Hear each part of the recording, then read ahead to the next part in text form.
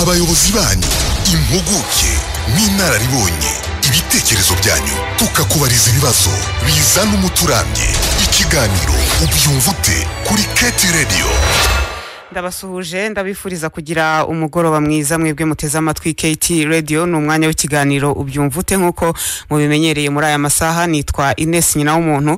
Uyu munsi rero tukaba tugiye kuganira uh, ku birebana n'imikorere y'ibigo binyurwamo by'igihe gito ibyo bizwi ku izina rya transit centers.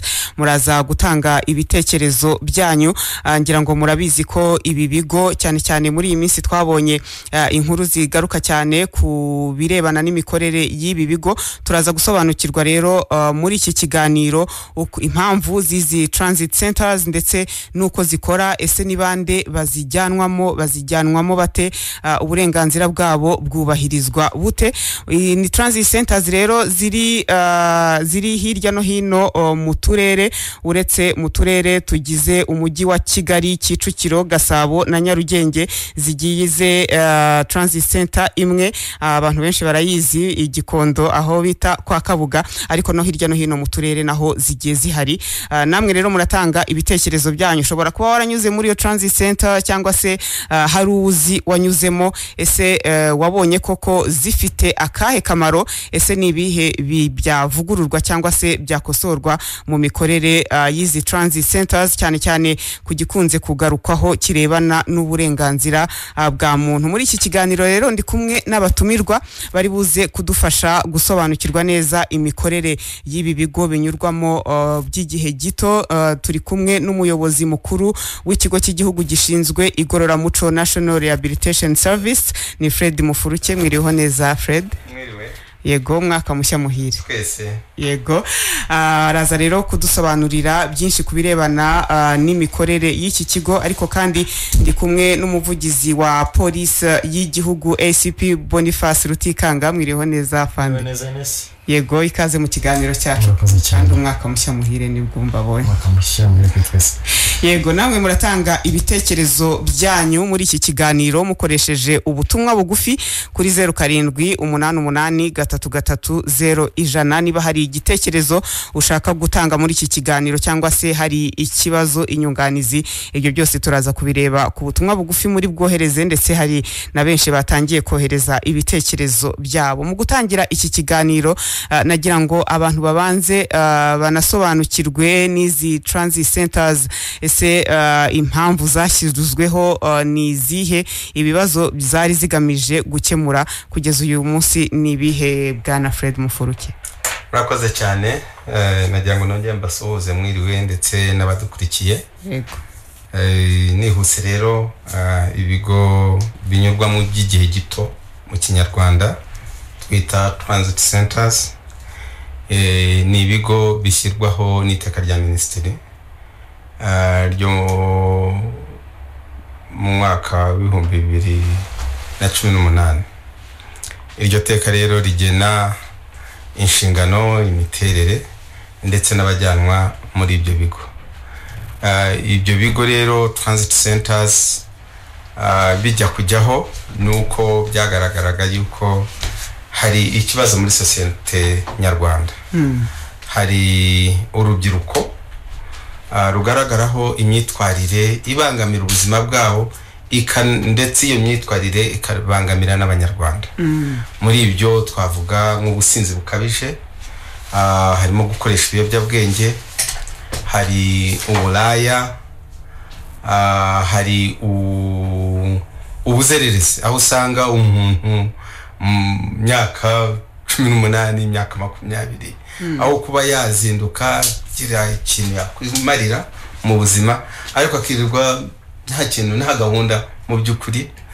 Eh, ndetse itegeko rikateganya n'indi myitwarire yose ibangamira abaturage. Iryo teka rero ryashyizeho nyine ko i- abo bagaragaye muri iyo myitwarire ibangamira abaturage ni uko ah, bajyanwa muri ibyo bigo ah, binyurwamo by'igihe gito transit centers kugira ngo bahabwe ubufasha bw'ibanze.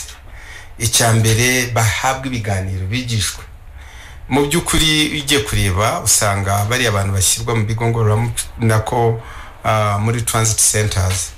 Akenshi ubona ibyo baba barimo biganisha ku byaha. Ariko ku byaha bitoya ibyaha biciriritse. Ni ya mikorere rero eh, n'ubudasa bw'igihugu cyacu bwo kuvuga ariko umuntu tubonaho iriya myitwarire nta kindi kintu yafashwamo tutihutiye kuba twanamujyana no mu nkiko. Dore ko aracyari na muto abenshi n'urubyiruko.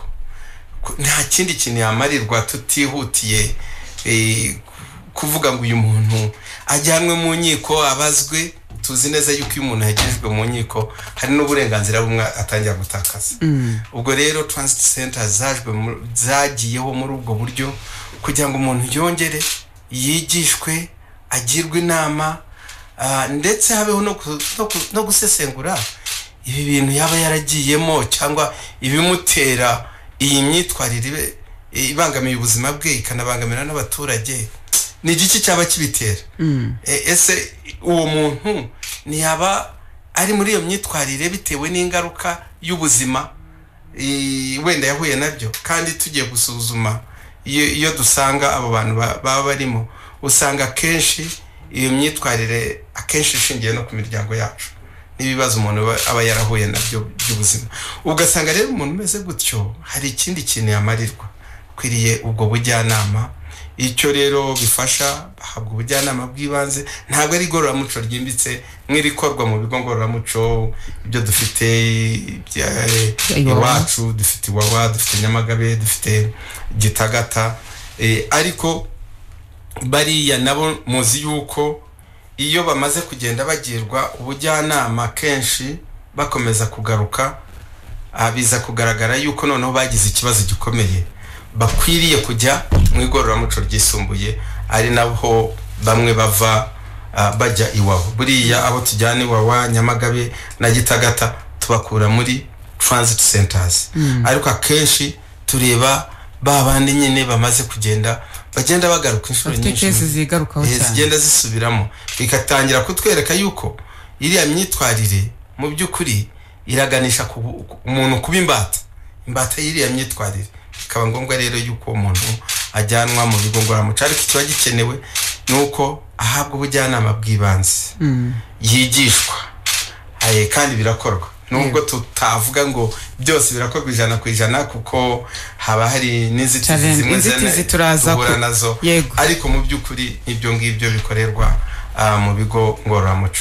Nako mu bigo binyurwamo by'igihe gito. Yego ah, uko nguko niko n'abantu benshi bakunda kubyitiranya ah, izi transit centers na rehabilitation centers benshi kubitandukanya birabagora ariko babyumvise ko uvuye muri transit inshuro nyinshi ari we ujyanwa noneho muri rehabilitation igihe kirekire kugira ngo ah, agarurwe ku murongo. Polisi y'igihugu rero nk'uko n'ubundi isanzwe ifasha mu birebana no gukumira no kurwanya ibyaha nk'uko deje yari amaze kubivuga ibi ni ibintu biganisha ku byaha bito bishobora kuzagenda bikaba binini. Polisi y'igihugu niyo ah, ifasha mu birebana no kugeza ah, abagomba kujya muri transit centers ah, kuba bagerayo. Mwadusobanurira pande iyo nzira imeze gute? Bava hehe bakajya he kugeza igihe bagerera muri transit centers?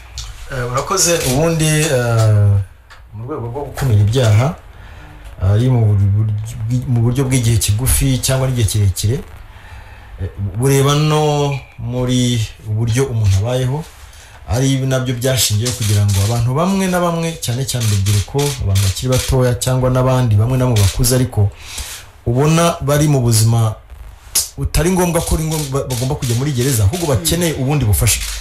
Rero barafatwa akenshi tubasanga nk'abana nahera ku rugero abana baba ku muhanda eh, usanga bari muri za rigore mu buzima bubi eh, usanga imvura ibanyagira izuba riba hejuru y'izuba mbese ubuzima butari mu nzu bataba mu nzu.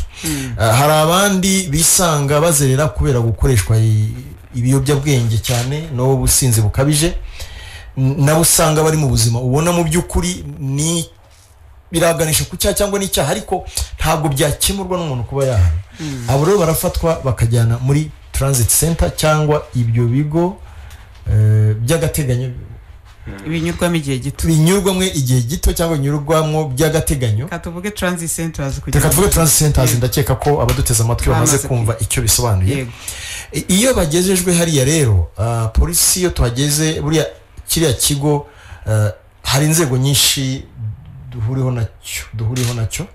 Eh, harimo n'urwego ruha- ruhagarariwe na deje hano ariko munsi ya minisiteri y'u- Y'ubutegetsi. bw'igihugu- bw'igihugu n'umujyi wa kigali uguzamo rib izamo n'izindi nzego. Iyo bageze hariya habamo kureba. Hari bamwe dufata ugasanga hari ufata ugasanga wisanze bamufashe kuko ari mu bandi yari ari aho ariko mu by'ukuri ntaho ahuriye n'icyo wamukekeraga uwo nguwo ukamurekura. Icyo twita sikiriningi hari n'ufata ugasanga yari umwana ah, yenda twita ko ari umwana wo ku muhanda cyangwa ari umuntu mukuru ariko afite aderesi afite aho akomoka afite aho wamusubiza uwo nguwo nawe ukamureka agasubirayo. Hari n'abandi ufata ugasanga ni ba bandi akubwira ati sinzi iwacu cyangwa se nshobora gusubirayo. Niyo wamutwara ntiya- ntiyajyayo yagaruka. Ukabona mu by'ukuri ari mu buzima. Abo ngabo benshi usanga wenda yaranyweye kore yaranyweye ibindi biyobyabwenge afite indi mitwe itari myiza bakeneye kuvurwa bakeneye n'ubundi bufasha. Abo rero iyo bamaze kunyura muri ubwo buryo hari abasigara muri transit hariya bakamara igihe ubundi itegeko riteganya ko ahamara nibura amezi abiri ariko igihe gishobora kurenga bitewe n'uburyo umuntu ahinduka cyangwa yitwaye. Iyo bi- icyo gihe kigeze rero hari abasohoka bakagenda bagasubira mu noneho bagasha icyo muri ya porosesi y'amezi abiri bamwe imiryango yabo ishakishwa. Habamo igihe cyo gushaka guturesinga imiryango yabo aho iri kugira ngo babashe gusubizwa mu miryango. Icyo gihe rero basohotse basubizwa mu miryango abasigaye babona ko bigaragara ko bafite ikibazo mu by'ukuri gikeneye ubufasha burushijeho nibo dufata bakajyanwa mu bigo ngororamuco. Ubwo rero bagenda batwarwa bitewe n'imyaka. Hari abajya igitagata abo ngabo ni ba bandi bari munsi y'imyaka cumi n'ine. Ariko n'abadamu batarengeje imyaka mirongo itatu n'itanu. Hari abajya i nyamagabe bari hagati y'imyaka cumi n'itanu n'imyaka cumi n'umunani ariko cyane cyane by'umwihariko abakoresha ibiyobyabwenge byo nabo batarengeje imyaka mirongo itatu n'itanu bajya i nyamagabe. Noneho hakazana n'abajya iwawa bafite imyaka cumi n'umunani kuzamura abakuru. Nuko rero iyo- piriyode icyo gihe cyose ni igihe cyo kujya muri ubwo buryo bwo gu- gusikirininga gutoranya kujonjora kubashyira muri izo kategori abajya mu rugo bakarekurwa abajya mu bigo ngororamuco bakagenda N- nuko mbese iyo itinereri iteye. Yego. Tukiri kuri iyo nzira ah, ninde cyangwa se ni uruhe rwego rwemerewe kujya kuba rwajyana umuntu muri eh, transit center? Ibi ngibi ndabibaza ah, nshingiye no ku makuru ngira ngo abantu bagiye basoma inkuru. Ah, bamwe bavuga bati iyo utumvikanye neza n'umuyobozi w'umurenge uri umuturage iyo ufite icyo upfa n'umuyobozi akujyana muri transit center akakwita inzererezi kandi wenda uri n'umugabo wihagazeho nta kibazo ufite. Ninde muntu uretse polisi y'igihugu eh, ushobora kuba yajyana umuntu muri transit center akamwinjizamo? Urwego rufite ububasha bwo gufata abantu. Reka mbivuge wenda mu mvugo z'amategeko kwa aresitinga reka mbivuge. Tu aresiti gufata. Gufata. Ni polisi tubafata twabiboneye cyangwa turangiwe. Hari amakuru duhawe. Umuyobozi uwo ari we wese ashobora kuduha amakuru tugakurikirana tukabona ko umuntu akwiriye gufatwa agatwarwa muri transit center cyangwa tukabona ko adakwiriye tukamureka. Ah, sinzi nimba hari umuyobozi ufata umuntu akamutwara agatwara umuntu muri transit center. Sinzi niba ahangaha hari umuyobozi wo bagufata agutwara muri transit center gutya uhagaze gutya. Nta kibazo ufite. Niyo waba ugifite. Ntibishoboka. Ibyo byose iyo ugifite bakubona ko mu murenge mu kagari se mu mudugudu mu isibo hari ikibazo uteje bimwe deje yasobanuye. Mugenzi wanjye yavuze.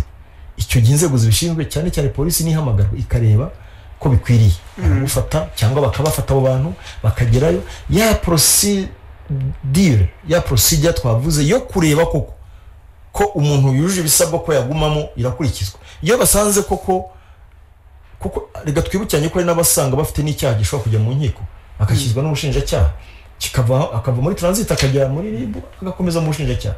Hari n'umusanga mu by'ukuri ibyo bamurega ubona ko bidakwiriye ko aba hamwe muri abo ari muri muri transit center cyangwa muri ribu akaba yarekurwa cyangwa akagirwa inama. Byose birashoboka. Ariko nta rundi rwego rwemerewe gufata atari polisi muri icyo gihe. Yego. Ni- n'ikindi wenda nunganiye umuvugizi wa polisi y'u rwanda ibyo avuze?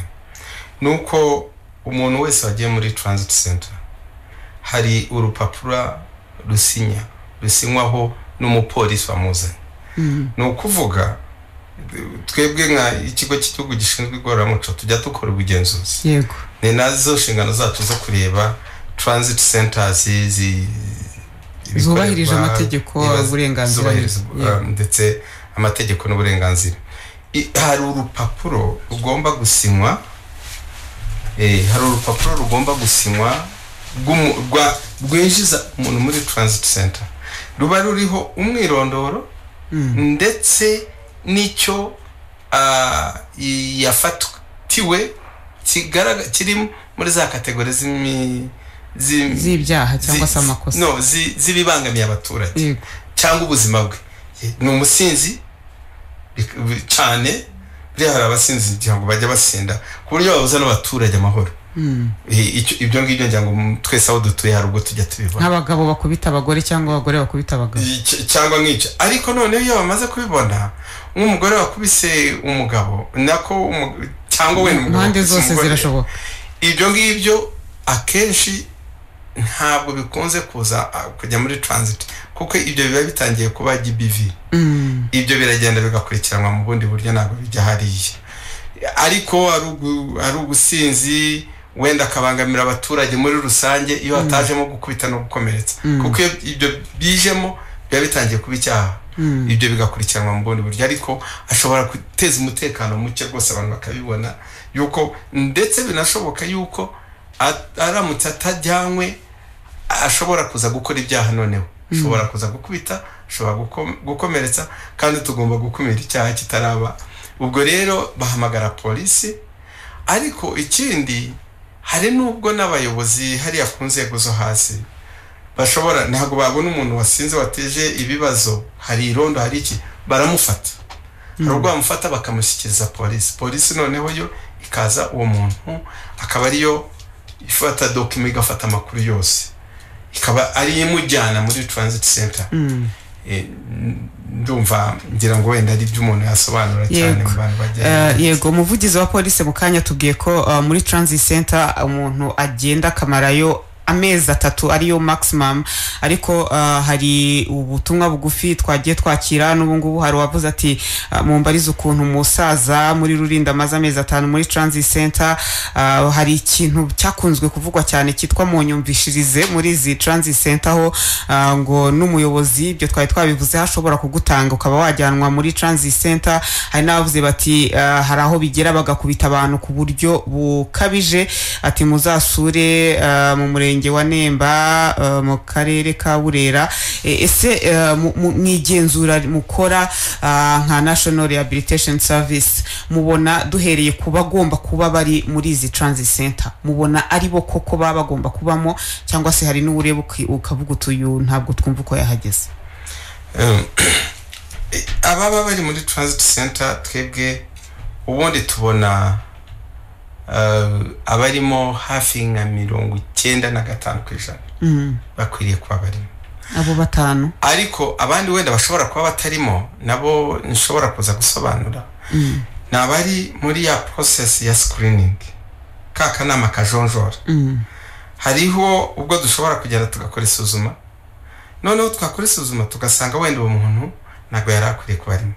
Ariko ikibitera kenshi eh, byo twagiye dusubiraho bi- ndetse dushaka yuko ubu turimo turavugurura n'ite- n'itegeko itegeko rishyiraho transit centers. Ni ibijyanye na screening. Screening kujonjora. kujonjora. Hari ubwo bitinda. Hari ubwo bitubahirizwa. Nk'uko byakabaye. Kuko nk'ubu ngubu reka nguhe urugero. Abantu bagize kariya kanama kajonjora. Harimo umuyobozi w'akarere wungirije ushinzwe imibereho myiza. Hari umuyobozi w'ibitaro. By'akarere. Eh, hari eh, ushinzwe mm, maji Mm. umunyamategeko. Umu- umunyamategeko. Hari umuyobozi ushinzwe imibereho myiza. Hari ushinzwe urubyiruko. Kugira ngo abo bantu bose bazaboneke. Kandi umuntu ijonjora rikwiriye gukorwa mu masaha mirongo irindwi n'abiri. Hari ubwo abo bantu kugira ni ukuvuga niba uyu munsi ari uwo bafashe ejo bakagira uwo bazana ejo bundi ejo bundi. Ni ukuvuga biragaragara yuko abantu bakabaye bakora buri abo bantu bagomba kubonekera rimwe. Eh, bose. ntawubuze Eh, nibura nibura bagomba kuboneka. Mm, ugiye kureba rero ni ho twagiye tubona ikintu gikwiriye gukosoka. Ko i- i- ubu turimo turavugurura ririya teka. Kugira ngo tuvugurure abantu bakwiriye kuba bagize kariya kanama.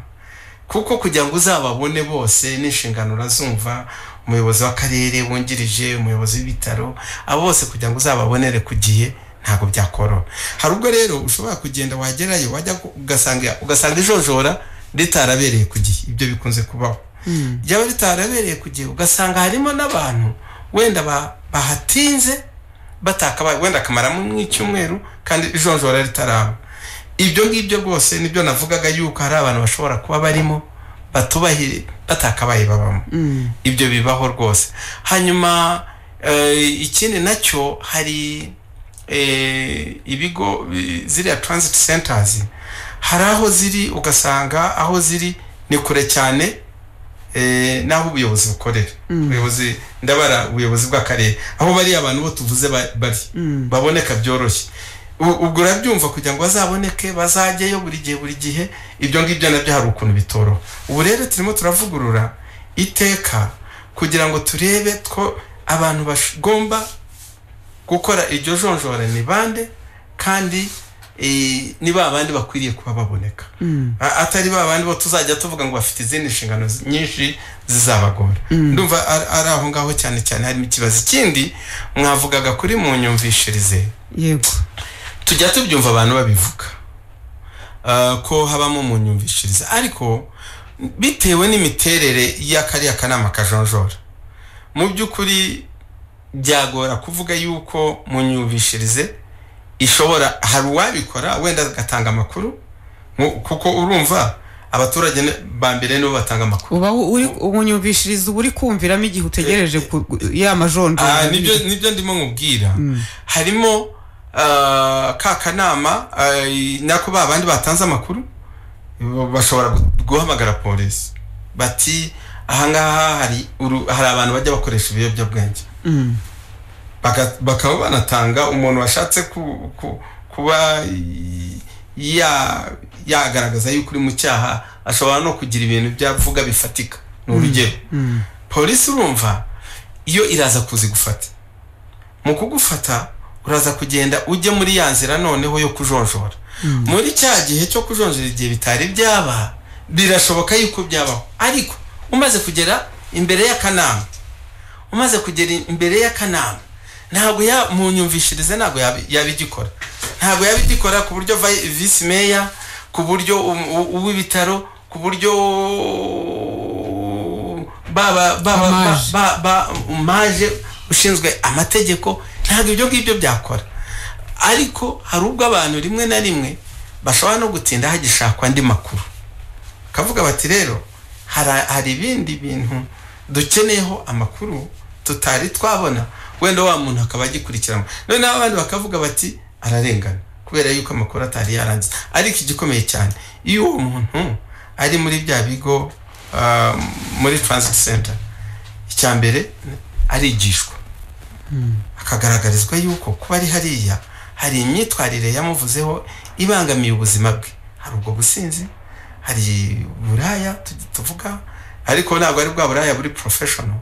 Turavuga bwa bundi akenshi nabwo buba bufitanye isano n'ubusinzi. Hari uburaya buri professional bwemewe? Eh, ibyo ngibyo reka tubireke wenda ndetse kubitindaho ariko hariho abashobora kubikora ntibabangamire ntibabangamire uwo ari we wese. Ntushobore no kubimenya. Ibyo ni byo mvuga.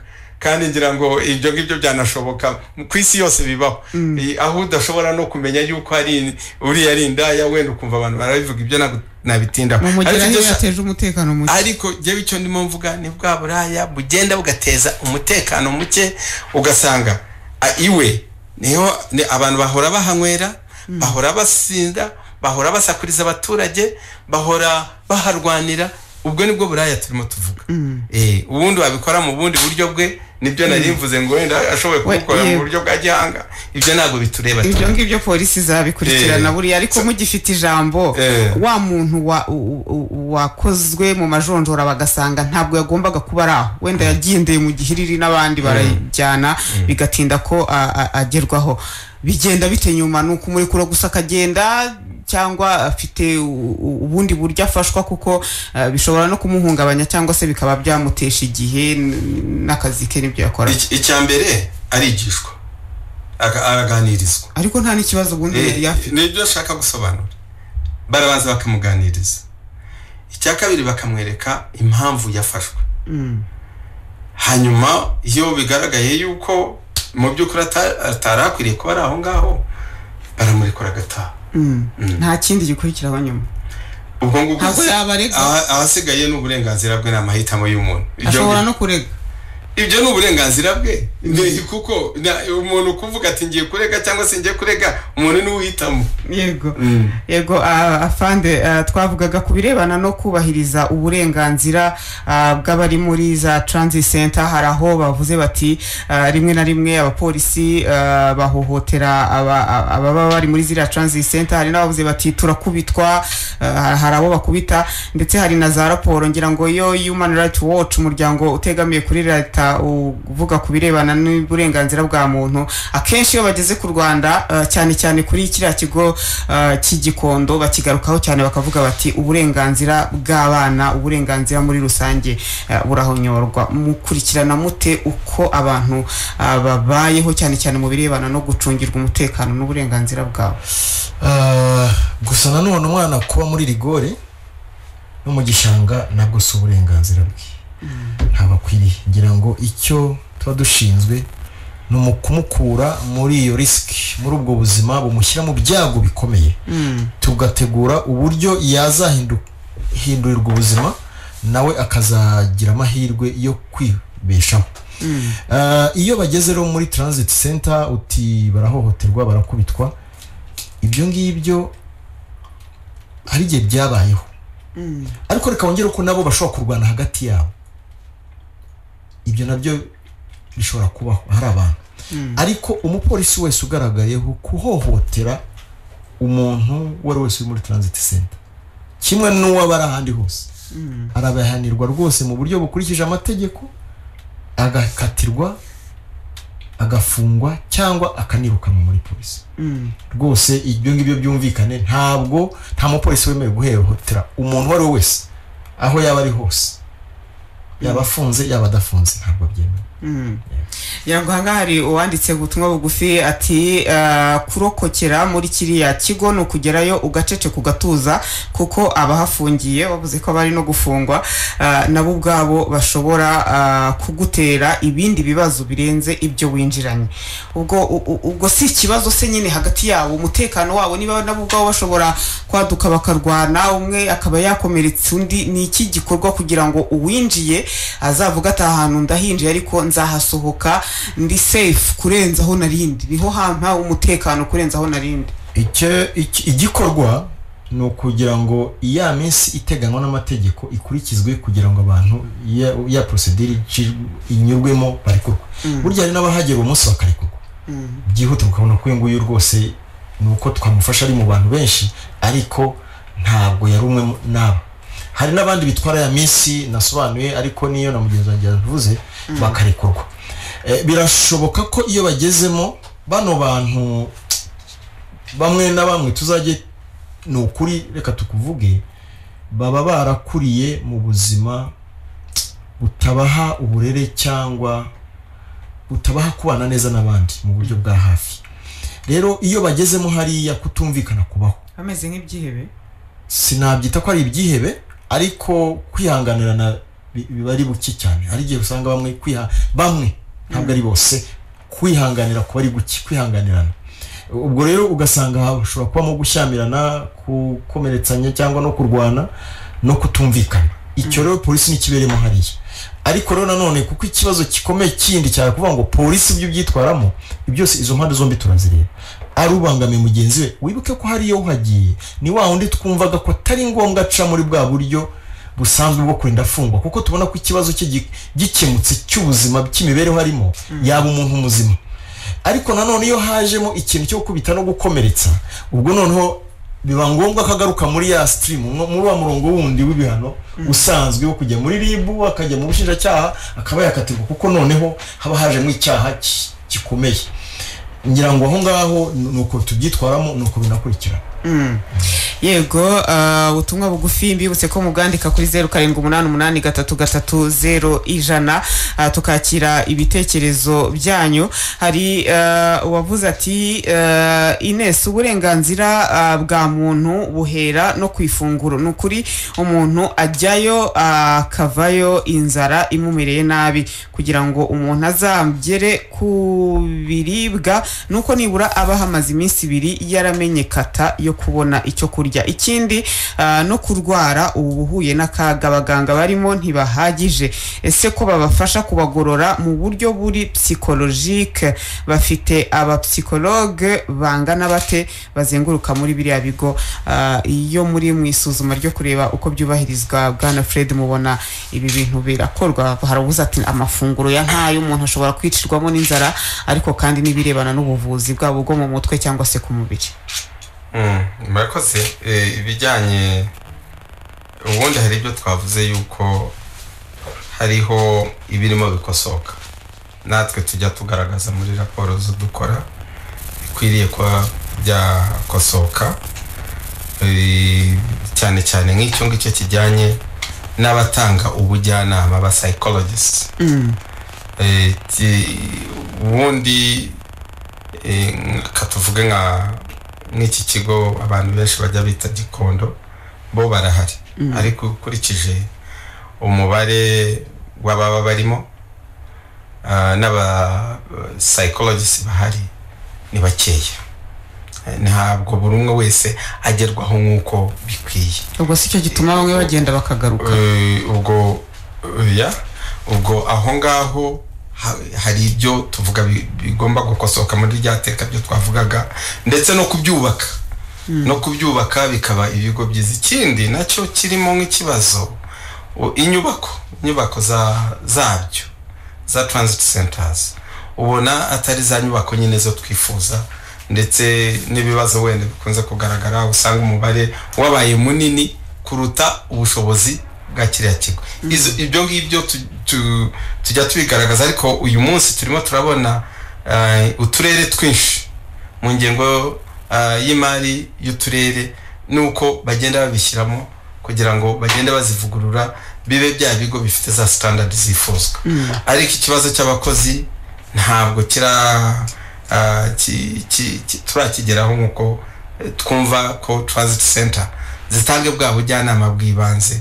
Aho ngaho naho hagomba kuza gukosoka hanyuma iby'imirire ubwo byaterwa ni- ni- ni- n'ikigo icyo ari cyo wenda tuvuze nka gikondo aho bavuga nzi yuko barya kabiri ku munsi. Ko ni urugero. Ibyo ndabizi. Ibyo nabihagararaho. Wenda ariko wenda bibaye bitabaye ubwo ibyo ngewe nzi ni ibyo ngibyo. Eh, ariko ikindi navuga hari ikintu wavuze nashakaga gusubiraho. Kijyanye na, na raporo iriya miryango mpuzamahanga nka human rights watch. Sinzi niba wari wabona raporo bashima ibikorwa. Sinzi niba hari ibyo bajya bashima. Hari ibyo wari wabona? Ku rwanda biba nyine bavuga ntabyo bajya bashima. Ubwo rero kuri bo ntabwo nabatindaho. Ari uburyo bwo tujya twishakamo ibisubizo nk'igihugu n'agacaca barayikriticizinze bavuze ko nta kigenda. N'ubundi buryo bwo dukoresha na n'ubu bu- abantu kuba bishakamo igisubizo bwo guhuza abantu na byo ntabwo babyemera. Ubona raporo zabo ari byo kuvuga ngo u rwanda solusiyo babonye tugomba kuyanga. Uko nguko niko bameze. Abo rero ntabwo twabataho umwanya turabamenyereye twe. Ahubwo ikiba gikenewe ni uko twebwe tureba ese twebwe ibyo tubona bitagenda ni ibihe bikwiriye kuba byakosoka kandi natwe turemera yuko transit centers uyu munsi harimo ibintu bikwiriye gukosoka rwose. Abapsychologist ni abahari ibyo bigomba gukosoka. Abakozi ba bahagije nyine usibye abapsychologist n'abandi buriya hari ibintu by'ibanze bikwiriye kuba bihabwa. Hariho abapsychologist hariho abigisha indangagaciro umuntu wageze hariya ukamwereka ariko uri mutoya imyaka cumi n'umunani imyaka makumyabiri ni gute watangira kujya mu bujuru uzabaho ute? Umuntu uguha ubwo bujyanama ntabwo turahagera. Aho ngaho ibyo ngibyo tugomba kubyemera. Eh, inyubako zimeze neza zifite standard zi- ibyo ngibyo ntabwo rwose tugomba kwemera yuko tutari twabikosora bi- bitari byagerwaho kandi bijya bigaragara no muri raporo zacu zo tujya dukora yuko ibyo bintu bikwiriye gukosoka ndetse hari n'aho usanga hari n'ubucucike. Ugasanga ubucucike burahari ibyo na byo tujya tubigaragaza. Ariko icyiza uyu munsi ugiye muri eh, muri raporo z'uturere usanga uburyo abantu bumvaga ikibazo n'uburyo bumva babyumva uyu munsi byaratandukanye cyane aho usanga noneho mu ngengo y'imari y'uturere. Ugasanga bashyizemo kubaka transit center bakayiha bya bindi by'ibanze byo twagiye tubona yuko bitari bihari. Ibyo rero ndumva eh, bizajya tuzajya dukomeza natwe tubigaragaza mu bugenzuzi kandi tuzajya dukurikirana tunakora n'ubuvugizi yuko byakosoka. Ariko na ririya teka rizadufasha gukemura ibintu byinshi bitagenda. Yego. Ah, hari uwavuze ati inesi burya kugira ngo bagufatire mu nzererezi ni uko uba ufite aho uhuriye na zo. Biragoye kuburana uburenganzira bwawe kandi wibonaho icyaha ku mubiri. Ah, gusa muri ziriya transit center ndavuga iyi kigali kuko ariyo nzi. Ikintu cya mbere cyambangamiye yagezeyo ati ni umwanda ukabije. Ushobora kuhakura indwara ah, zituruka ku mwanda utitonze. Ikindi aho kugira ngo ufatirwe mu nzererezi wafatirwa mu cyaha gisanzwe kuko bagenda bagufata bakurikiza amategeko. Naho iyo wagiye mu nzererezi ni ukuri nta burenganzira ah, uhabwa. Njye n'icyo gipapuro ntacyo nasinye. Bagutwara bakwita inzererezi ku buryo n'abapolisi murebana mu maso ukabona ko yakubonyemo ubuzererezi bukabije. Afande. Ati ukuntu batwara abantu bafatiwe mu nzererezi eh, hari aba bagore ba- benshi rimwe na rimwe bafite n'abana abandi batwita ati iyo wisanze mu nzererezi biragatsindwa uburenganzira gusa ari nkaho ari ntabwo ibi murabivuga iki? Icyo mvuga ah, kuba umuntu yisanze mu nzererezi ah, nk'uko nabivuze haba hari impamvu abantu bafashwe bagajyanwa muri izo transit center. Ariko nanone ntabwo umuntu wese ujya hariya muri transit center umuvuga ngo ni inzererezi hari ibibazo byinshi ngira ngo deje mufuruki yabivuzeho tugitangira mu ntangiriro z'iki kiganiro hari abakoresha ibiyobyabwenge hari abafite aho bataba hari indaya hari abasinzi abantu batandukanye. Abo bantu ni abantu batandukanye rero. Iyo batwawe birashoboka ko atakumva ko atwawe neza kuko ntabwo navuga ngo abagiye muri transit center batwarwa muri vewiti cyangwa batwarwa mu modoka nziza. Eh, nyine muri pikapu haratwarwa. Rimwe na rimwe hari igihe biba ngombwa ko haba gukoresha imbaraga. Kuko nta ni bake cyane bashaka ko kugenda ku bushake bwabo bitewe n'aho wabasanze ni tuvuge ni umusinzi. Aho umufatiye ntabwo bivuze ko azakubwira ati rusha tugende. Birashoboka ko habamo kesi zimwe na zimwe aho umuntu atiyumva ko yatwawe neza bitewe n'uburyo yafashwe. Ariko birashoboka ko umuntu yatwarwa neza yitonze butwe bitewe nawe uburyo yitwaye. Gusa nanone ndagaruka kuvuga ku kintu kimwe. Iyo bigaragara ko uwafashwe yarenganyijwe yahohotewe uwabikoze arabikuri- arakurikiranwa ugahana naho ibyo avuga ngo umuntu arakureba ukabona ko yakubonyemo inzererezi sinzi uko bigenda kugira ngo umuntu babibone gutyo ngo umuntu arakureba akakubona ko akabonamo inzererezi. Icyo ntacyo nakivugaho kuko kirimo amarangamutima menshi gusa reka twumvikane kuri principe.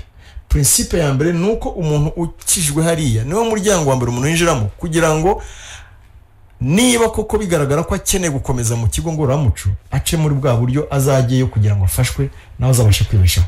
Niba kandi bigaragaye ko habayeho kwibeshya koko hari kesi zimwe na zimwe ufata ugasanga umuntu ni umusinzi kuko wenda atarabashije kuvuga icyo gihe. Bitewe no kugubwa.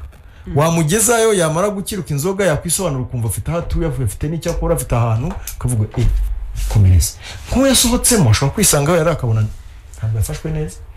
Cyangwa bitewe n'aho wamukuye ukuntu asa, asa nabi nawe aki- akibona ko adasa neza. Hari n'ukubwira ati mumufashe mundebaho munyuza ngere mu rugo. Kubera uku icyo gihe nta ntanemera ko uko yaje uko wamuzanye ariko iyo amaze gukiruka zimaze kumushyiramo inzoga ntabwo yemera ko uko aho mwamusanze ntanahera kereka iyo mwageze amahirwe mukaba mwamufotora dore aho wari uryamye. Birashoboka. Rero hariya kereka ari kay'umuntu imwe imwe kesi tukavuga tuti iyi ngiyi yari imeze gute? Ariko ngiye kuvuga ka duhura na zo. Zigiye zitandukanye umuntu ku wundi ubafashe ntabwo bose ubafata bari muri mu- buryo bumwe. Buri muntu aba afite umwihariko. Rero uwo mwihariko rimwe na rimwe nk'uko mbigusobanuriye hari abo ufata bari mu buzima rugero nk'igihe cy'imvura yaguye mu mukoki amazi yamurenze abantu bamuzengurutse wenda barashaka no kumwiba ukabafata. Wamugezaho waza kurikirana umunsi ukurikiyeho amaze gukiruka aka- akakurikirana ugasanga ahubwo yabaye victimu uko wenda y'inzoga cyangwa victimu y'abamutabaye bityo rero ugasanga we uko yisanze aho kikaba ari cyo kibazo ntatekereze aho yakuwe mbere y'uko aza aho ngaho. Izo na byo dukunze guhura na byo ariko ntibivuze ko uhohotewe uko yaba afashwe uko ariko kose. Uhohotewe agomba kurenganurwa kandi kurenganurwa kuriho kwa mbere ni uko wabikoze ahanwa agakurikiranwa. Iki- ikindi inesi twebwe dufite ubuhamya. Ndetse eh, nagira ngo ngutumire. Eh, n'ejo ufite akanya uzajye gitagata ni hano mu bugesera. Uganire n'abari mu igororamuco kuko bari hafi gusoza.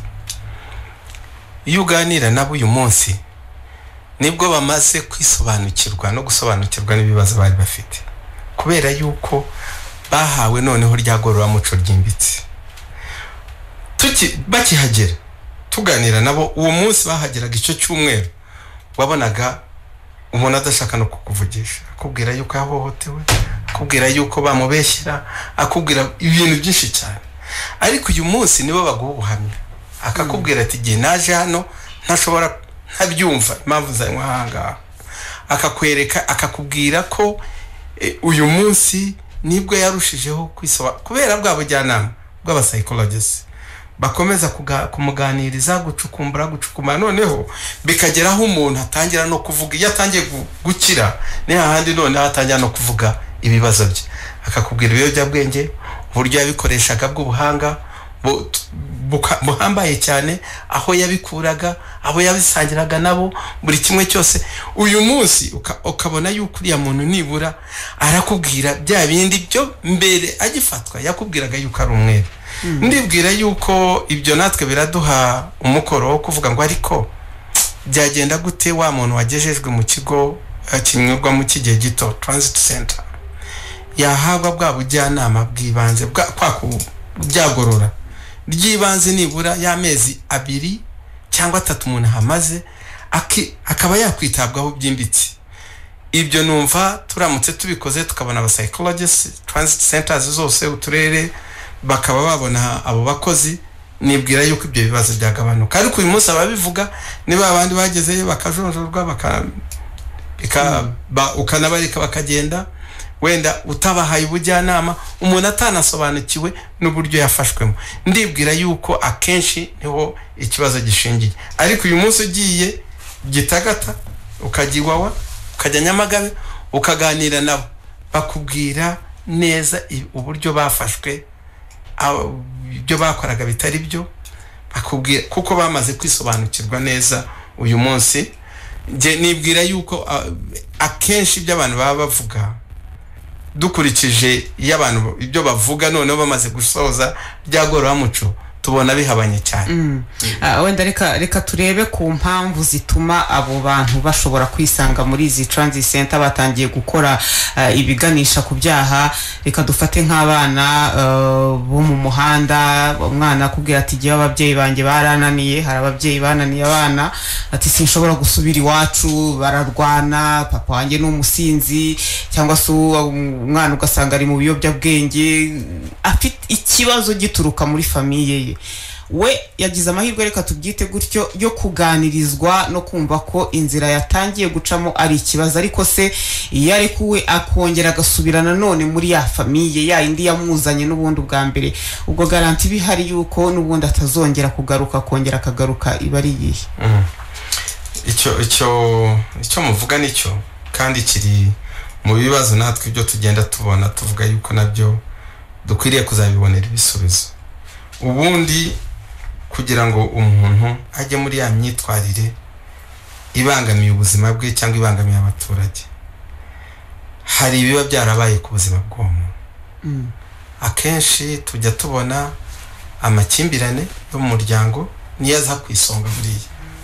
Noneho ugasanga umuntu ya makimbirane y'ababyeyi bahora akenshi usanga ari ababyeyi banywa bagasinda bakarwana uwo mwana akabibona. Bamwe akumva naho ngaho atangiye kuhava. Aka- akajya gushaka aho abonera amahoro muri bagenzi be. Aho ngaho ni hamwe tujya tubonamo ikibazo. Ahandi naho hafitanye isano n'ibyo ni ababyeyi bata inshingano zabo zo kurera.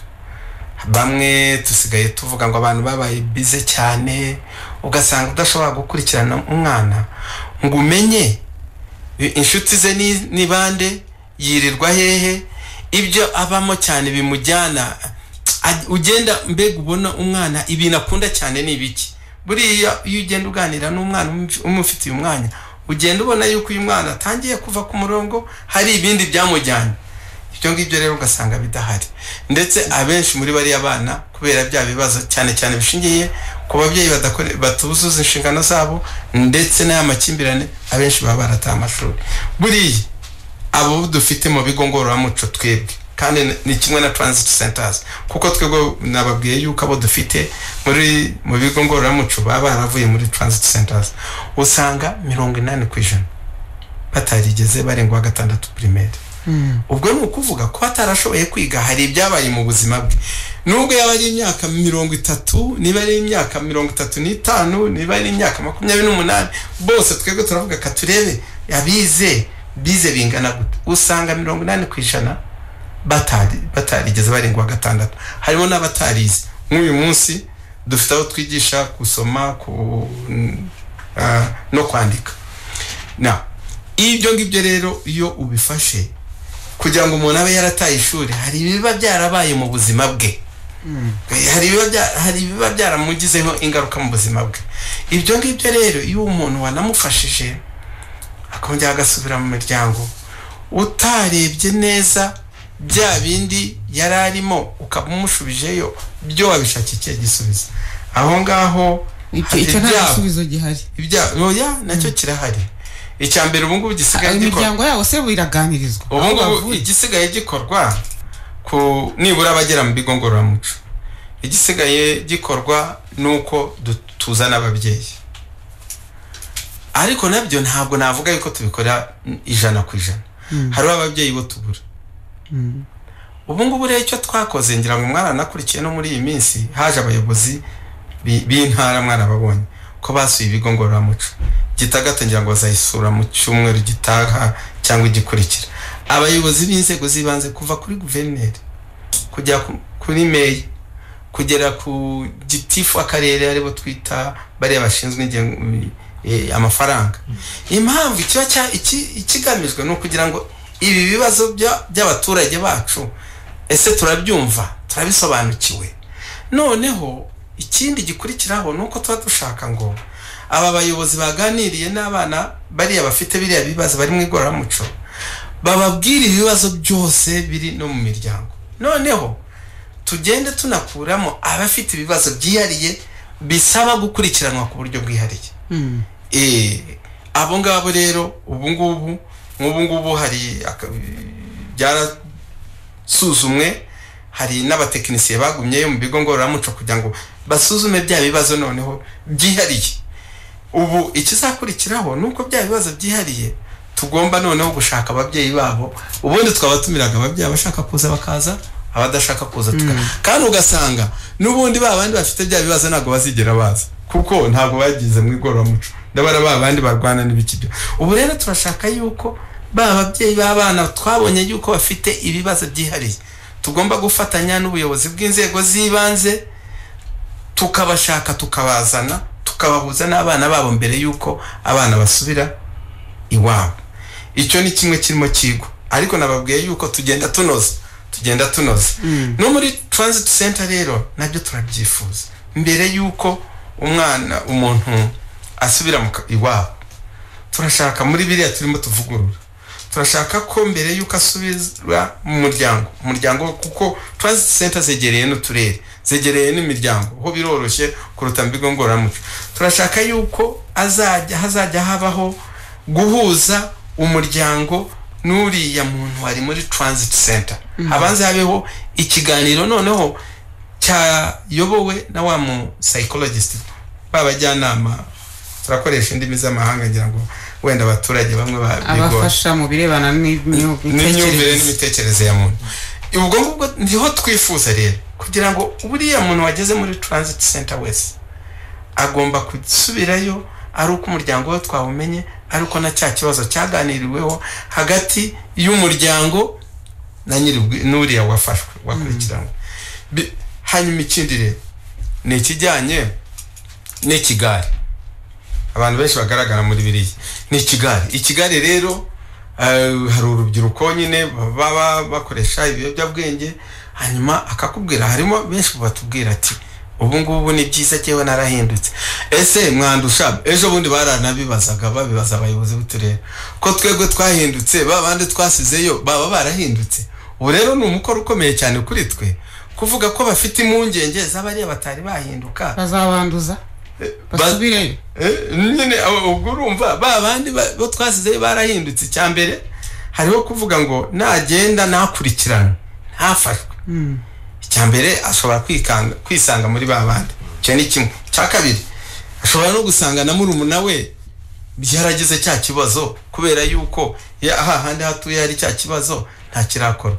Ubwo aho ngaho rero ni ho dufite umukoro ukomeye nk'abayobozi yego eh, murakoze cyane. Mu minota ibiri dusigaranye eh, hari uwavuze ati eh, umbarize afande eh, icyakorwa kugira ngo batazajya bayora abantu mu gihiriri Eh, mu gusoza reka turebe ku bigomba kunozwa cyane cyane ku bireba polisi. Mubona ari ibihe bikwiye kunozwa kugira ngo umuntu atazajya yisanga cyane cyane kisanga hatakagombye kuba ari akaba umunyamakosa kandi we nta kosa afite n'ibindi bikenewe kunozwa kugira ngo uru rugendo ah, rw'uko umuntu agomba kugororoka akagororwa rugende neza.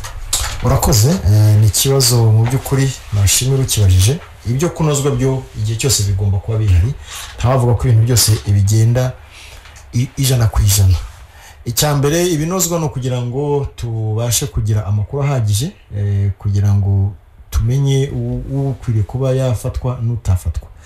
Icya kabiri ni uko dukangurira n'abantu kugira ngo nabo babigiremo uruhare ni byiza ko badufasha kugira ngo iyo mikorere yacu yo gufata abantu ibe ari imikorere idafatwa nk'aho umuntu agiye kugirwa nabi ahubwo ari uko umuntu agiye kugirwa neza bityo n'igihe cyo kubafata twagerayo dusaba ko abantu baduha amakuru kugira ngo tubashe gutandukanya ukwiye gukomeza n'urwo rugendo n'utakwiye gukomeza nawe bi- bikatworohera kuko hari igihe twisanga biba ngombwa ko ugomba gukora gutyo kuko ntiwatangira uburyo bwo gutoranya no kuvangura abantu bari aho. Kuko icya mbere uburyo baba bavanze nanjye natwe ntituba tubizi. Uburyo umuntu yisanga mu rugero mu gihiri cy'abantu bakoresha ibiyobyabwenge cyangwa mu gihiri cy'abana bo ku muhanda cyangwa mu gihiri cy'abigurisha ku muhanda ibyo nabwo ubwabyo ni ikibazo. Rero ntabwo ibyo iyo uburyo bwo gutandukanya abo bantu tubukuriraho twabasanze. Ubanza kubevacyuka ukabakuraho ukabageza ahantu uri bubikorere ubwo rero icya mbere sinavuga ngo duha akato bariya bantu ariko ni byiza ko abantu bazajya bihangana rimwe na rimwe mu mikorere kuko hari ibyo tutakoreraho twabafatiye. Gusa amakuru adufasha kugira ngo tumenye eh, ukwiriye kuba yafatwa akajyanwa muri ubwo buryo ni byiza. Ariko nanone eh, ni byiza ko aba bagenzi bacu tuba dutwaye muri ubwo buryo bwo kugororwa bigishwa n'aho dutuye muri sosiyete dutuyemo aha muri makaritsiye yacu. Kuko ntabwo abantu bose dufata nk'uko mugenzi yavuze ari abava ku muhanda. Oya. Hari abafata ukajya gusanga afite iwe iwabo mu rugo harahari. Bameze neza ntacyo banabuze ariko ari ku muhanda. Urumva? Hari ufata ugasanga bari kumwe barafatanyije n'ubwo bakubwira gutya ugasanga yari kumwe n'abaho ngaho ukibaza mbere na mbere kuko niyo umubaje avuga uti ariko se ni byo koko? Ntabwo uri kumwe n'aba ngaba wisanzemo gute? Wakoragamo iki? Nimba ari abantu bakekwa kuba bakoresha ibiyobyabwenge kandi bigaragara ko babikoresha bigaragara ko bafite ibimenyetso babikoresha wowe utabikoresha? Inshuti ze baganira. Eh?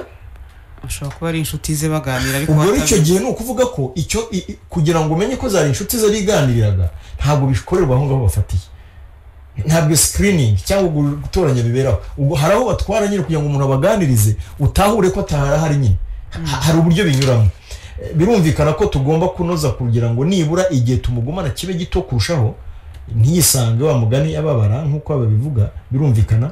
Ariko hari n'abo icyo tubasaba kugira ngo badufashe ni ubufatanye akazi kacu igihe cyose gasaba gufatanya ariko ni byo koko hari ibyo kunoza. Yego tuzagenda dukora n'ibindi biganiro kugira ngo uh, turebe niba hari ibyamaze gukosoka. Ndabizi neza ko nitwongera kubatumira uh, muzitaba karame kandi mwakoze cyane. Murakoze. Yego. Uh, reka nsoze nsoma ubu butumwa bugufi nubwo iminota yagiye ni umuntu wanditse ati uh, ines si igitekerezo si n'ikibazo ariko ni agahinda nagize numvise umugore avuga ngo umwana wanjye agiye gutaha ava iwawa nari maze igihe mfite umutekano.